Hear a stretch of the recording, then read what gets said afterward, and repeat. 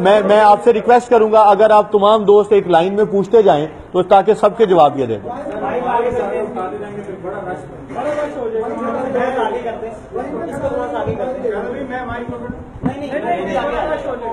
اس کو آگے کر لو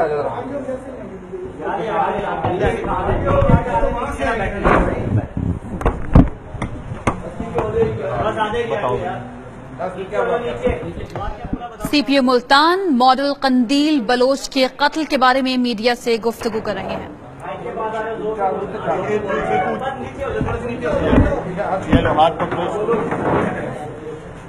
جی سر بولیں۔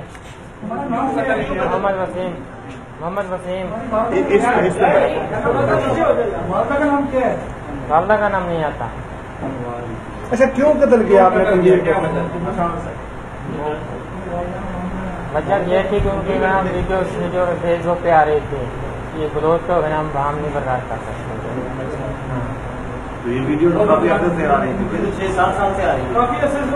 اور بھی بہت سارے مسئلے بنے ہوئے ہیں نا۔ کون سے؟ وہ جو مولوی کا مسئلہ بنا ہوا ہے ہمارے گھر گھر میڈیا آئی ہے۔ پہلے تو یہ مسئلہ نہیں بنا تھا نا۔ اس لیے مسئلہ بنا ہے کہ ہم نے یہ کام کر دیا تو اپیرنٹلی اس کا کہنے کا مقصد یہ ہے کہ جب سے میڈیا میں یہ لائم لائٹ میں زیادہ یہ چیزیں آئیں تو اس کے بعد ان کے اوپر کچھ پریشر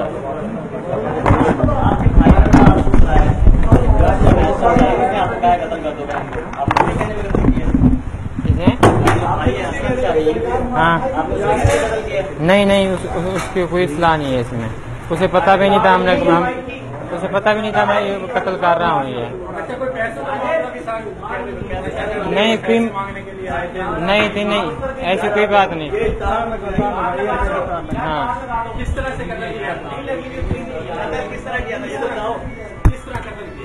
جس طرح نثار نے بتایا آپ کو اس طرح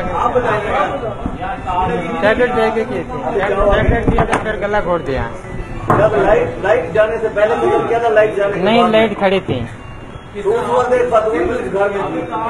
اوپر تھی وہ۔ اچھا ادھر دیکھ کے کس طرح کس طرح آپ نے کر دیا گلا دبا دیا گلا پہلے پوری چیز تھی۔ ہاں ہاں دی تھی۔ ٹیبلٹ دی تھی۔ اسے کب کب ہوا ہے کب آپ نے اس کو قتل کیا دو دن ہو گئے ہیں۔ دو دن ہو ہاں گئے اگلی رات کو۔ اگلی رات کو تقریباً کتنے بجے؟ ساڑھے گیارہ بجے۔ کوئی شرمندگی ہے آپ کو؟ نہیں ہے شرمندگی۔ بلوچ ہے۔ وجہ کیا بنی آپ کی؟ مطلب کون سی وجہ؟ قتل کرنے کی کیا مین وجہ بنی؟ میں آپ کو پہلے بتا چکا ہوں کہ یہ جو جو مسئلے تھے نا اس کے وہ ہم سے برداشت نہیں ہوتے بس۔ نہیں میں خود ہی ہوں کوئی اس میں۔ ہاں اکیلا ہوں میں۔ اوکے